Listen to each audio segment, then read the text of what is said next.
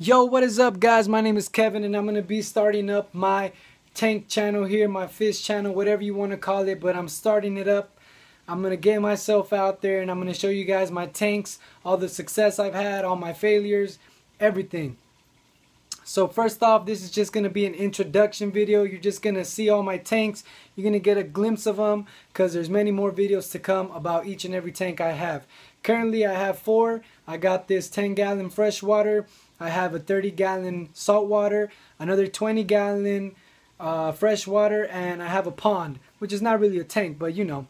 So we're gonna go ahead and get started with the GloFish tank. I know a lot of you guys are against GloFish, but the reason I went with the GloFish is because I wanted to bring some brightness into my room. I wanted to bring some life into my room, so I went ahead and went with the glow. It looks really nice at night when I'm chilling in my bed, sleeping, you know. It's pretty, pretty cool uh, the ceiling turns blue and it's just amazing. It feels like I'm in, you know, the water myself. So let's go ahead and take a look at this tank. So I know a lot of people are against GloFish. Um, we'll talk about that in another video. But for now, let's just enjoy the GloFish while we have them. So, you know, everything in this tank is pretty much decor that's not real, such as the gravel, the plants that light up, and even the fish, some people would say. So I have two tetras, one Danio, and um, four skirts. The skirts are these see-through guys that just have a stripe of glow through them. I really didn't think the skirts would make it. They looked really bad at the pet store. I felt bad for them. I picked them up and they made it. Um, and I also have one pleco, albino pleco. He's in here. He's in the corner. I don't know if you can see him that well, but he's there, stuck to the glass tank. Just one tip from this tank. I think the the success from this tank was the air pump that I put in. So if you want success or you want a higher chance of your fish living, put an air pump. It'll help your fish in the long run. Trust me. So let's go to tank number two. Alright guys, so this is tank number two. As you can see, I have some hermits in there. This is a 30 gallon saltwater tank. I have two yellowtail damsels, two sergeant damsels, and one black and white striped damsel. So, my tip for this tank would be don't buy any damsels because they're so aggressive and they end up killing each other. Especially these yellowtail damsels. Look at them. They're so aggressive. They took up this whole territory and they don't let no fish swim across. So please try to avoid the yellowtail damsels unless you're going to have a damsel only tank. Um, other than that, um, it's summertime here. I don't have a chiller, but I do have a fan that's better because it's cheaper and it works. So it does the job. Keeps the temperature really, really good. All right, guys, so um, this is the 30 gallon saltwater tank. Like I said, if you're starting with a uh, saltwater tank, don't get yourselves yellowtail damsels because they're really, really aggressive and you might pay the price for them in the long run. I know they're low price fish and that's the reason why I got them. I knew they were aggressive, I knew they were territorial, but I took the risk. And the reason being is because my tank crashed. I lost my my beautiful fish that I had and I had to restart up. So I went with the low price fish instead of starting with the high price fish, which is pretty smart, you know, that's what you want to do. And I believe this hermit crab just changed shells in front of us and we were not looking. Uh, he's my biggest hermit crab I have. So I think he just left that show and went into this one. Uh, we totally missed that, but whatever. Or maybe he was there on video while I was filming. Have to zoom in on there. So anyways, guys, this is the saltwater tank.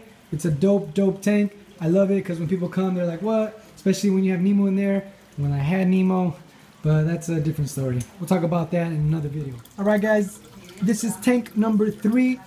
Pretty, pretty simple setup here. I have a butterfly koi fish, a red-eared slider, and another red-eared slider somewhere here. He's hiding. I don't know where he's at. I'll look for him later. But and then I have about seven or eight goldfish. They were actually food for the turtle, but he never ate them, so they became friends, which is pretty, pretty cool, I guess. So now they're all friends in this tank. It's a peaceful tank. No aggression here like the saltwater tank. And there's also a snail. He's just eating up everything that's on that filter. He loves it. He enjoys it. I'm surprised he's out because usually they come out more at nighttime than the daytime. At least he does. So yeah, guys, this is a simple setup for an RES and a couple fish. And I know that the koi fish is probably too small for this tank, but when I got him, he was really small, and we're going to uh, move him to the pond. So just stay tuned for that. I'm gonna have a video for this guy right here, moving him to the pond. And there's the other baby RES. I found him. He's right there. Say hi, Squirtle. All right, guys, moving on to the pond. Okay, guys, this is my pond. I have a couple red ear sliders in there and they should be in here somewhere. I'm just kidding guys, this is not my pond. This is actually a nesting place for one of my red ear sliders. Um, I thought she was pregnant, but I don't think she is. Um, trust me, it looked better than that. I'm just cleaning it out. Um, so this is the pond. And the pond was already in place here at the house. I always wanted to fill it up with water and fish, and I finally did. So, that's uh, the DIY filter that I did. I also did a pre-filter, which is in there, and I will make a video on that later on. So these are all the goldfish I got in here. There's, I don't even know how many there's in here, and there's about three koi fish. If you saw that swimming, there goes another one. He's the biggest one I got. He's right there. I want to get a glimpse of this guy, but he's not letting himself.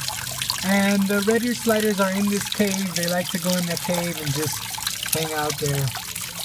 So yeah, this is the pond. If you guys have any questions or any comments or any advice for any of my tanks, please feel free to leave me a comment. Please subscribe, like my videos, support me like I've supported all of you guys when I started doing this hobby because you guys made it possible for me so now I want to make it possible for somebody else. So thanks for checking out my channel. I hope my channel grows and I hope we grow as a fish community and all that.